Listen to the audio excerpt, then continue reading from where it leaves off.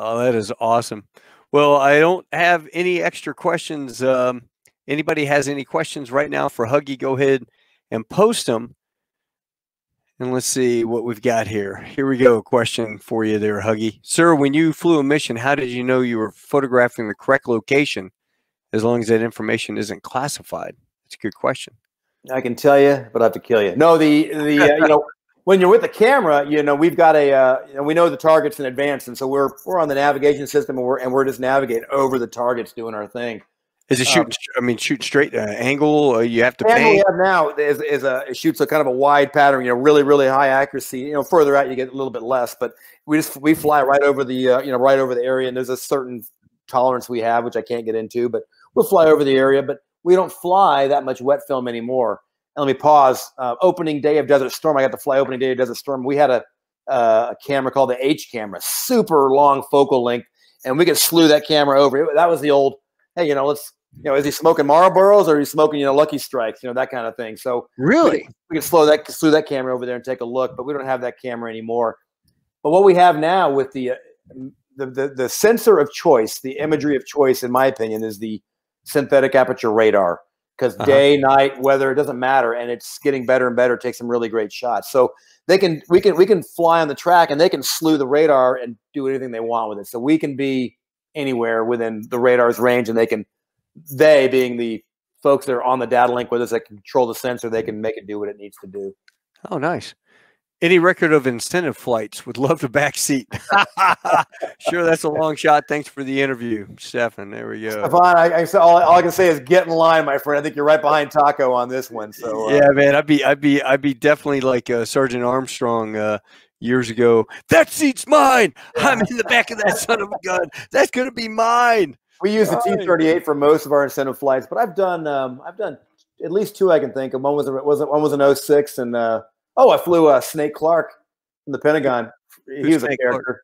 Yeah, a big character. I, will get into, it, but he's a he's a he's a big big wig at the Pentagon. Uh, and then um, I flew one of our crew chiefs, the crew chief of the year, guy named uh-huh. Sean Lewis back in '97. Now he's a he's a big uh, he's a big Lockheed maintenance guy. Uh, he was he was the top maintenance guy in back in '97 or '98 at Beale and flew him in the U two. Yes, we don't do it very much, very very rare, but it does happen. Well, any any little vignette stories you wanted to tell before uh, we we oh, we crank man. it for the um, night? Any any funny things that happened to you that you just you know, I, I, I, people may have heard the story if they've seen me speak, but I got to tell you, a really funny story was um, this is 1991. 1991. I'm in England, and uh, I mentioned the guy John Roush. He was the tweet IP that told me about the U2 program. John went to mm-hmm. England, and then I went to England about a year after him. So we were out there, and we went to. Uh, I'd been in England about a year and a half, and uh, we went over to after the right after the Gulf War is over, and in September of that '91, we went over to RAF Leuchars. It's uh, right by St Andrews, where golf was invented. I'm not a golfer, but big deal. And they had a couple of tornado squadrons and an F4 squadron at the time, and and we went over to the big air show there. Big, big, big. The Brits do an air show like nobody else. It's and the Canadians right. they do a fantastic job. And drink on the flight line. Yeah, oh, yeah. They, well, they drink everywhere. Those guys drink everywhere. And so uh, uh, John flew the aircraft in uh, from Alconbury. It wasn't a long flight, but he flew in the spacesuit. So, and this was the wall had come down, and this was going to be the first visit uh, of the Russians to the West in the in their demonstration team oh, called wow. the Russian Knights, flying a five ship or six ship of uh, Su twenty sevens. So uh, John flies in, lands on the ramp, and uh, you know he's in the spacesuit. And we're standing by the aircraft. It's the Friday, you know, the Friday before everything happens, you know. And there's crowds everywhere, and there's Russian uh, people, British Army everywhere. It's a great time. And then all of a sudden, here they come up initially, the nine ship of the, the Red Arrows, you know, right to come up initial right at you, and right behind them, the five Su 27s of the Russians, and they you know, big arrival show, breakout, jets everywhere, noise. It's glorious. You know, we're watching the whole thing. It's pretty cool. And uh, how many Nobody crashed.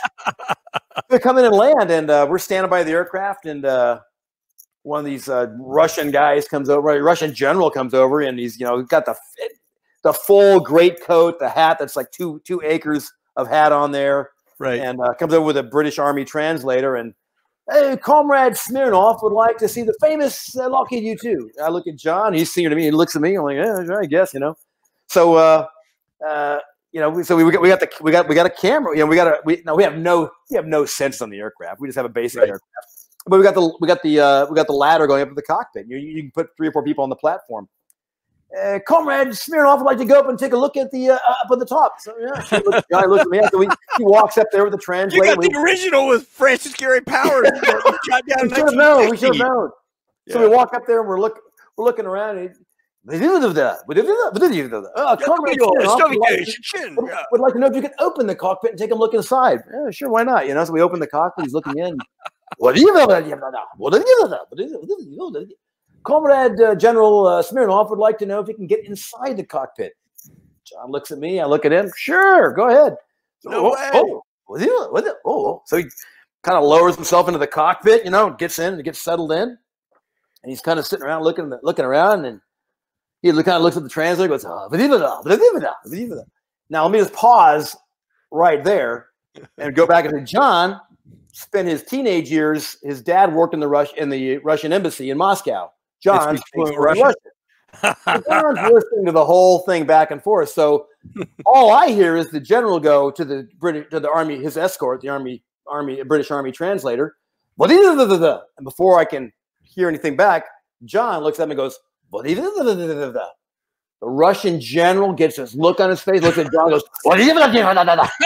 and John goes, John goes, gets up out of the cockpit and storms up the stairs of the British Army. Oh, so, you know, chasing him out. John is sitting at the top of the how, the, the ladder, just going.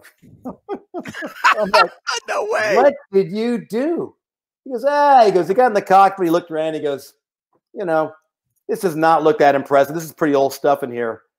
And uh, when he looked up at the translator, uh, John said, Yes, sir, but all of the important equipment is state of the art and in the pods.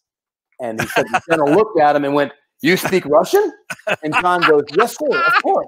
All U2 pilots speak Russian. So, the ultimate coup. It was it was it was a great time, and of course we had our big rage fest at the club that night, the British club. But yeah, that was uh, disinformation. He's going back.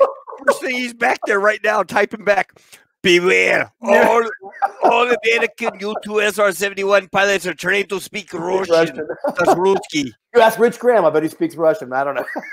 we, had, we, had, a great time uh, drinking vodka with the Russian uh, SU-20, the Russian Knight team in the uh, in the bar that night. It was it was it was it was a, it was a hell of a weekend. Well, you know I'm into armor, and uh, my buddy John Wilkinson is staying up late right now over in the UK watching this. Uh, as you can see, hi as a youngster, I lived in RAF Leuchars.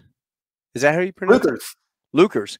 That's amazing to know that you'd been there. I had no knowledge of aviation being an ex uh, armor recce guy. My question is, on average, what would the length of your average sortie be? Uh, back in the UK, they were uh, eight, eight or nine hour missions, but uh, um, yeah, they, have gotten a little lengthy for the Middle East missions. And we, like I said, we've seen uh, nine to a twelve hour missions depending on it. We don't like to go really we don't like to extend that long. You know, you start to make errors and mistakes when you're by yourself doing that. Sure. So what do you do? Do you do air to air refueling with a KC one thirty five or no? There's you no, guys are all internal. Yeah, we we uh, we can, if we put a tank a full tank of gas on the aircraft, we can fly. Uh, we could probably fly 15, 16 hours and have a little bit of reserve. So it's it's not That's amazing. You're, you're around a physiological. Yeah, you're out of physiological time. But since um, go ahead, yeah. go ahead. No, no, uh, uh the same trip. Uh, since he mentioned he was at Leuchars John was coming into Leuchars on that Friday, you know, um, and of course, the field around Leuchars is just packed. And then you know how the Brits are; they are airplane nuts. Up in Scotland, right. airplane crazy. There are thousands of people around the perimeter fence. And uh, John's coming on the straight, and you can see the landing light out there. You know the big U two wingspan coming on in. I'm on the radio in the car, and they've all got scanners. They're all listening to everything we say. Uh-huh. And his call sign was Rook two eight or Rook Rook something was a Rook call sign and I'm called the mobile. I go, uh, Rook 28 mobile. Uh, yeah, go ahead. Uh, check that your satellite refueling door is closed.